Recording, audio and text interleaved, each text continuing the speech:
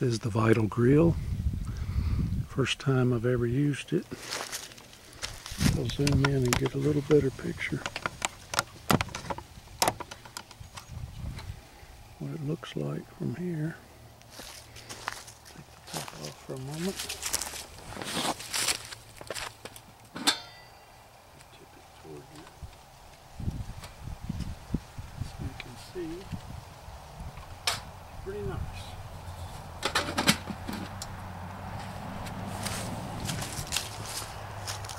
It looks like a nice grill, really nice, and you can smoke in it, such smoked meats or whatever. At least whatever you're cooking, you can put the cover on and let it smoke a while. So I'll have to give this thing a try. And that's it for now, guys.